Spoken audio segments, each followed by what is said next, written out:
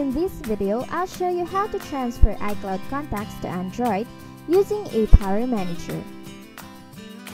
To start, go to iCloud.com and then sign in using your iCloud account.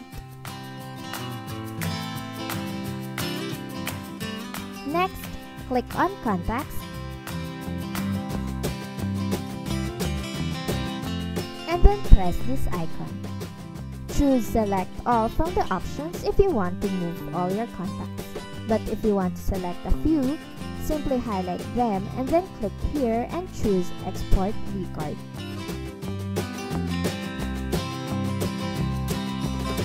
Upon exporting your files, open ApowerManager and then connect your Android using a USB cable or by scanning the QR code.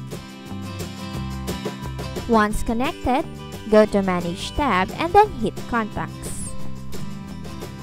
Now, click on the Import button and then choose the file you downloaded from iCloud. You may click here if you want to view the transferring process. And that's how you can transfer iCloud contacts to Android. Thank you for watching.